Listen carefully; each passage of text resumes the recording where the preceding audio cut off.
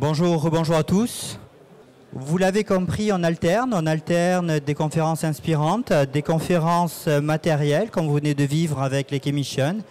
Et puis il y a des masterclass. Et les masterclass, c'est un petit peu différent, parce qu'en fait, on est sans. Des fois, ça marche, des fois, ça marche pas. Souvent, on se rate, on confond des choses. Dans tous les cas, l'objectif de cette masterclass, c'est de produire des choses sur scène dans un environnement qui est plutôt hostile en quantité de lumière, qui est hostile parce qu'en réseau, il y a plein de réseaux partout, il y a peu de place, c'est limite dangereux. Mais pour ça, il y a des génies, j'espère. Donc il y a Jérôme. Bonjour Jérôme, merci Jérôme d'être là, d'avoir accepté ce défi merci, de cette masterclass. Portraitiste, je fais de la photographie sociale. Euh, qu'est-ce qu'on appelle photographie sociale? C'est-à-dire, je vais prendre les familles en photo, je vais faire du mariage. Euh, ensuite, je fais de l'événementiel. Je fais aussi de la déco d'intérieur. Euh, on dit souvent les photographes doivent être spécialisés. Ben, moi, j'essaye de me spécialiser dans pas mal de choses pour avoir du boulot.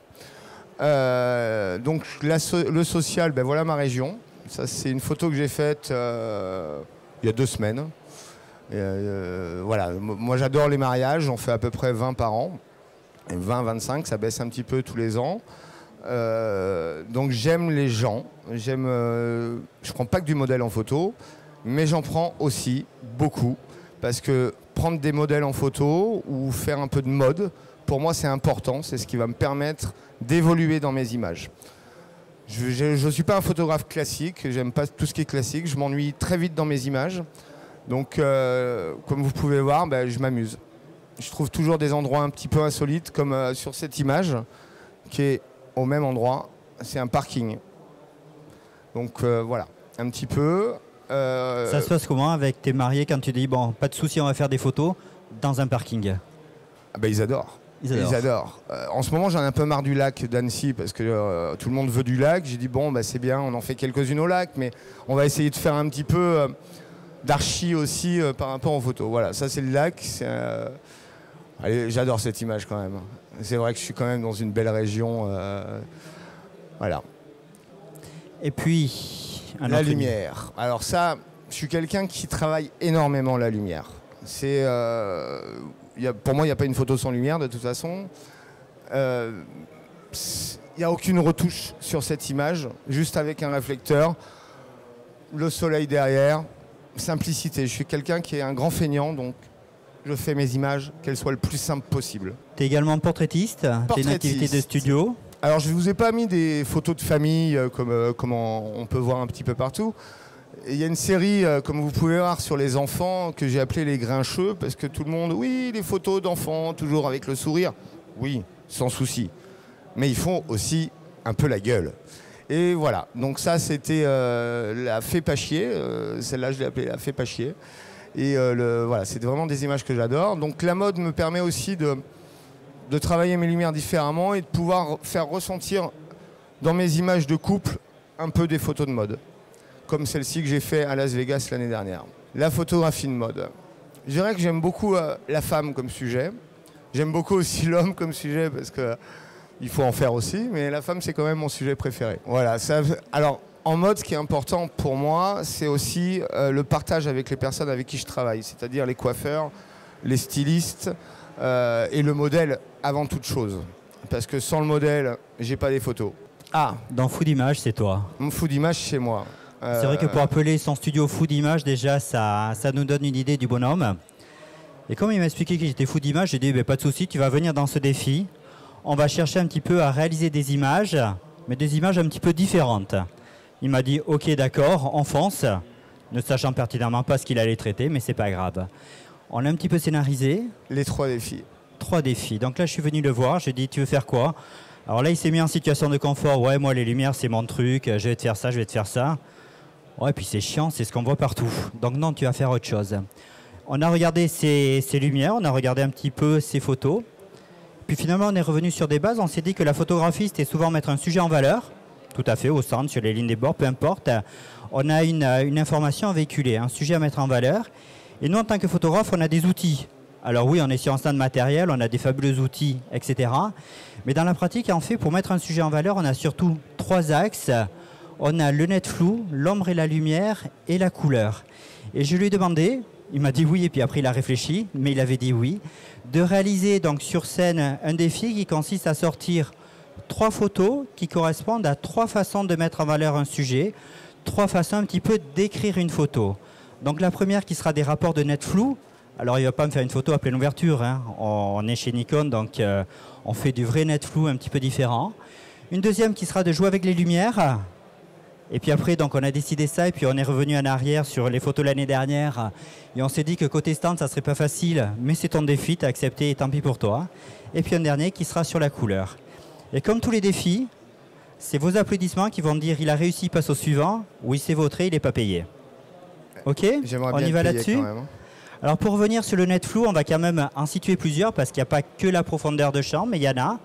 Donc ça, c'est ce que tu fais au quotidien. Ouais. Ça, c'est facile. C'est un couple. Donc là, euh, le flou devant, c'est juste des feuilles euh, dans la forêt. Euh, je me suis couché dans l'herbe et j'ai mis mon sujet en avant en le sortant de, bah, de- les flous devant. Ça, j'ai fait donc bah, la profondeur de champ, la mise au point sur les cils pour bien faire ressortir les cils. Et puis voilà, j'aime bien ce, ce flouté euh, qui descend vers la bouche, euh, euh, vers le col. euh, voilà.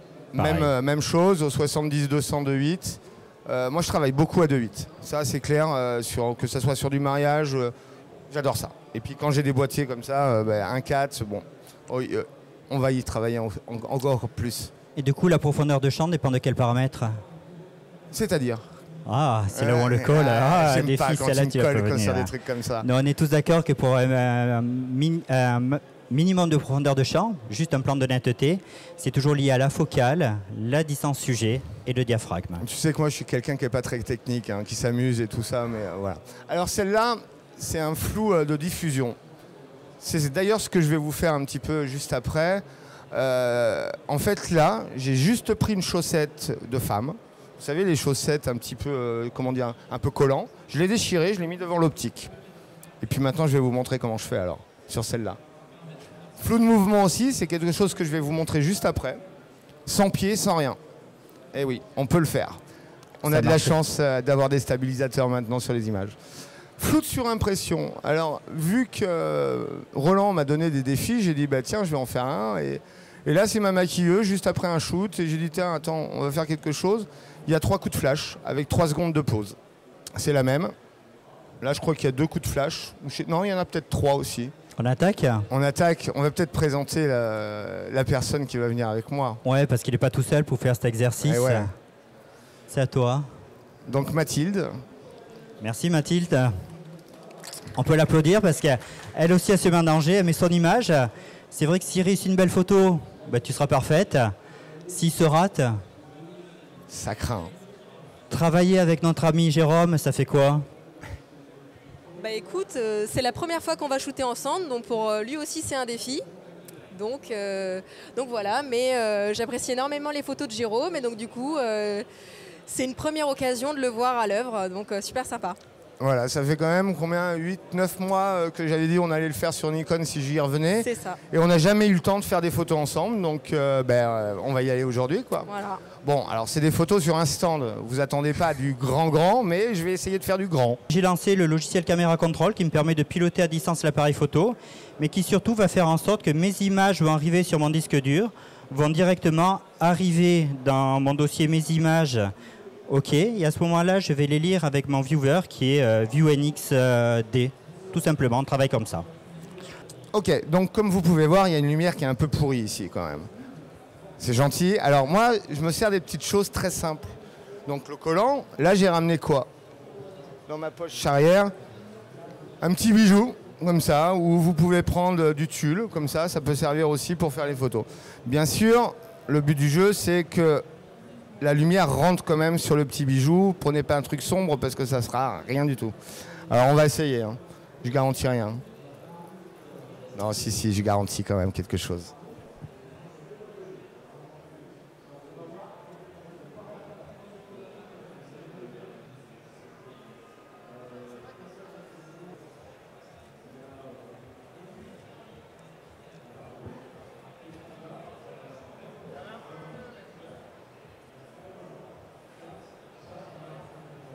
Bon.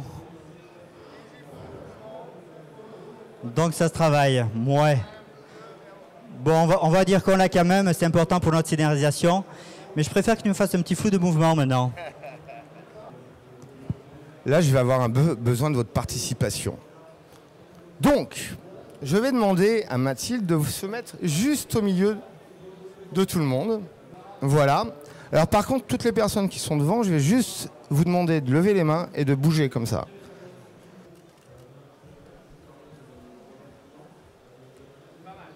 Ah, là, on l'a, on l'a, on l'a. On la recadre légèrement, on est bon. Donc ça, vous pouvez le faire n'importe où. Là, j'étais au huitième de seconde à F8. On a de la chance d'avoir un stab dessus. Bien sûr, les modèles ne doivent pas bouger. Vous faites des photos dans la rue, vous mettez un sujet fixe, vous laissez passer les gens. Le mieux, c'est de travailler avec un pied, mais quand vous n'en avez pas, parce que moi, je suis un grand feignant, donc je le trimballe pas tout le temps avec moi, ben, le stab, c'est vachement bien. Quoi, quand même. Voilà, on y est arrivé sur celui-là? Je sais pas, vous l'applaudissez et on passe au suivant ou? Allez, c'est parti alors. Alors, ensuite... Le deuxième défi, c'était un défi ombre et lumière. Ombre et lumière. Alors là, je vais avoir besoin de quelqu'un. On présente assistant. pas, tu sais, on avait dit la scénarisation qu'on Ah présentait oui, un petit peu l'ombre et lumière d'abord. Ok, c'est vrai. Alors, ombre et lumière. Euh, par exemple, sur cette lumière ambiante, vous savez bien que les boîtes à lumière, plus vous avez une grosse boîte à lumière, plus la lumière va être douce. Plus vous avez une petite boîte à lumière, plus elle va être dure. Celle-ci, par exemple, c'est une grosse boîte à lumière où j'ai rapproché la boîte à lumière de mon sujet pour être beaucoup plus doux. Si je m'étais éloigné, ça serait beaucoup plus dur. Voilà. Donc là, je voulais vraiment mettre en avant les tatous. Euh, donc une lumière, toujours. Moi, je suis en monosource 80% du- de mon temps.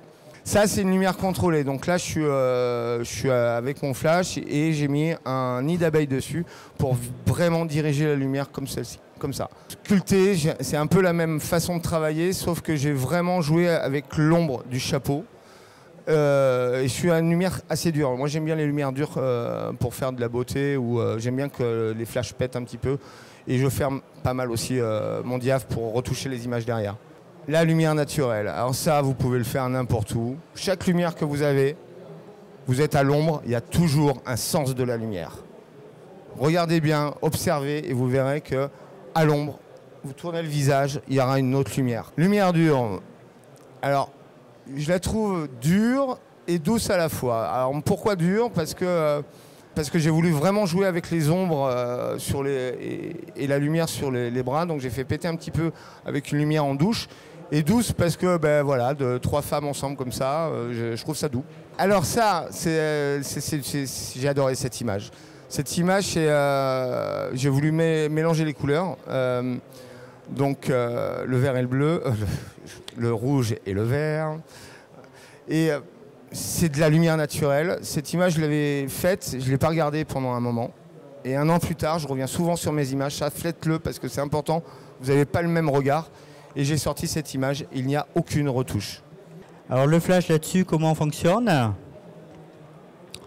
On prend une boîte à lumière, puisque l'intérêt des flashs à un moment donné, c'est de sculpter. C'est vrai que sur ce type de conférence, on veut aller plus loin que la le simple flash posé sur la griffe de l'appareil photo. Donc on a tous conscience que déjà, déporter un flash, ça apporte une autre gestion de l'ombre, que rajouter également une boîte à lumière, ça permet de diffuser davantage. Maintenant, pour la connectique, puisqu'on est à l'ère du sans fil, en fait, on est passé sur des flashs radio. C'est pour ça que sur euh, le D5 devant, vous avez un petit accessoire qui s'appelle la WR10 qui permet de communiquer en radio avec les flashs euh, SB 5000. Là, il y a juste à les appairer. Les appairer, ça veut dire appuyer sur le petit bouton gris d'un côté, menu, pairage, exécuter, et puis ensuite les mettre sur les mêmes canaux. Donc là, on travaille sur le canal euh, sur 5, et ça, c'est le flash A, sachant qu'on peut comme ça rajouter jusqu'à, ça monte jusqu'à la lettre F, donc jusqu'à 6 flashs autour d'un sujet. Là, qu'est-ce que je vais faire? Je vous ai montré une photo avec le chapeau tout à l'heure, mais je vais essayer de vous refaire à peu près la même euh, par rapport à l'ombre et la lumière. Souvent, j'aime bien faire juste péter le flash derrière le sujet pour avoir un contre-jour ou une. euh, voilà, je vais vous montrer. Je vais essayer avec le flash, c'est pas évident. Tu la bonne, ce deuxième défi en là, ombre-lumière Ah, ils applaudissent pas. hein. Ouais, allez. Sincèrement, j'enlève ça. Est-ce que vous voyez le piqué? Sincèrement, il est extraordinaire ce 105. T'arrives à agrandir l'image ou pas sur la bouche? C'est pas magique? Ouais, ouais, ouais, tout à fait. Hein, Je voulais montrer ça quand même. Je sais pas, elle est pas mal cette photo, je suis content. Troisième défi. Comme tout à l'heure, on va regarder quelques-unes de tes images où la couleur a beaucoup d'importance. Donc là, on est plutôt sur couleur chaude. Ouais. D'ailleurs, à votre avis, c'est avec flash ou sans flash cette image? C'est sans flash. Je suis quelqu'un qui travaille le soleil comme un flash. Vous avez la plus belle source qui existe. Je fais du contre-jour bien sûr, mais dès qu'il y a un super soleil, j'estime, ben voilà, c'est un beau flash à lui tout seul. Là, on est plutôt sur un rapport plutôt mise en avant d'un sujet avec un arrière-plan très chaud. Et, euh, le, et puis le sujet en bleu, donc une couleur froide, ça c'est une chose que j'aime bien faire quand même. Là, c'est plus des couleurs froides à l'opposé. Cette image, euh, il faisait moins 17 degrés. Elle était vraiment en collant. Euh, et j'ai vraiment voulu euh, bah, le côté froid des images. Et il faisait vraiment froid. hein.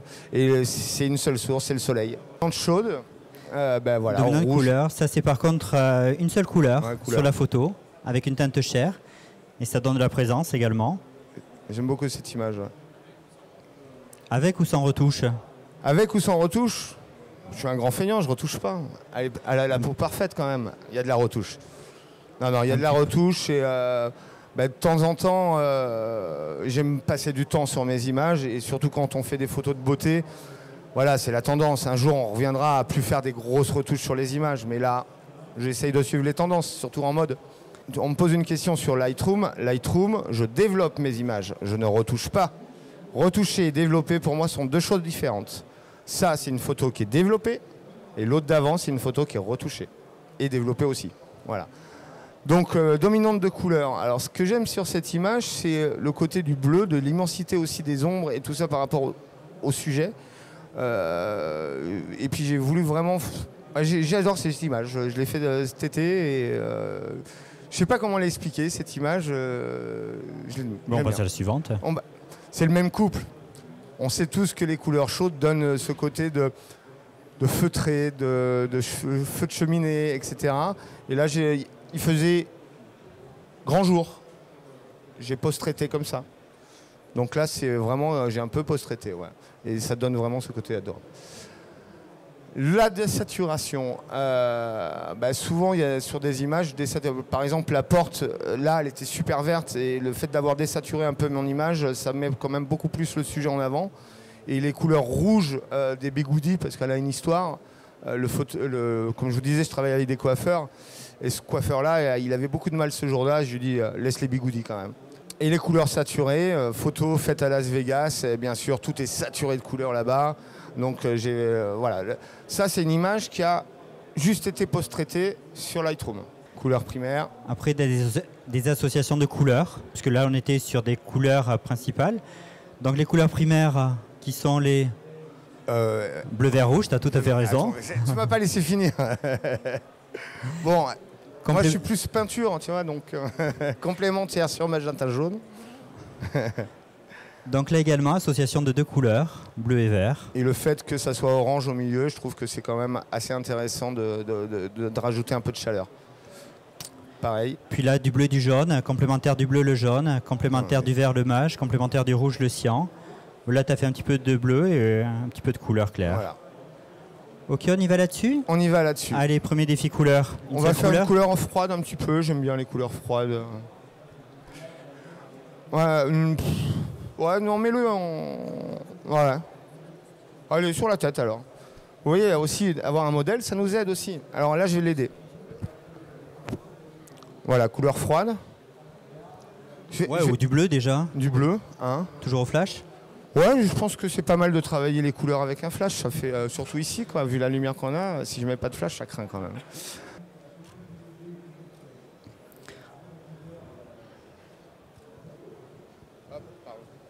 Ça manque. Donc là, on est d'accord, par rapport aux premières photos, il y avait une couleur qui dominait, c'est pas trop mal. On a vu dans notre évolution qu'on avait des couleurs primaires et complémentaires qui s'ajustaient bien. Complémentaire du bleu, le le jaune. Il y a du jaune par là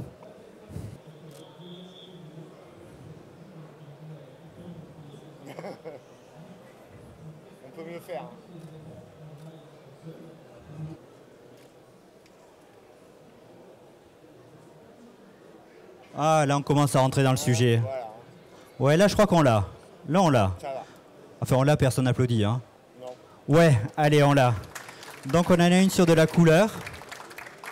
Donc là, on était d'abord une seule couleur, puis après, on a fait une primaire et une complémentaire, bleu et jaune. Mais on peut également jouer à des ambiances chaudes et froides. Donc on revient sur la couleur, on va d'abord s'étalonner, tu vas faire une photo sans source additionnelle, qu'on ait la couleur de l'ambiance. Donc ça c'est la lumière ambiante. Donc on voudrait avoir un arrière-plan, on le fait quoi? Plutôt chaud, plutôt froid? Froid à l'arrière-plan. Ouais, c'est pas top. Hein. En fait, tu es, toujours en tungstène et tu as une lumière du flash qui est proche de la couleur de l'ambiance et c'est toujours pas bon. Un filtre température couleur. En fait, vous avez tout ça dans vos boîtes de flash. C'est un petit accessoire en fait qui permet de faire en sorte que le flash qui naturellement part à une température couleur de 5500 Kelvin revienne à une température couleur qui est plutôt de 3002. Donc en gros on va refroidir le flash. On va donc faire en sorte que la couleur du flash soit proche de la couleur qui a été choisie dans la balance des blancs. Donc on avait un défi, c'est vrai que notre écran il est un petit peu froid, mais on avait un défi couleur froide, couleur chaude. Ben, je crois qu'on l'a. On l'applaudit Ouais Donc tu avais le challenge de réaliser trois défis qui sont trois types d'écriture. Un sur le net flou, réussi. Un sur la lumière, réussi. Un sur la couleur, réussi. Ben, je crois qu'il nous reste à te remercier, Jérôme. Une très bonne continuation. Merci à toi également.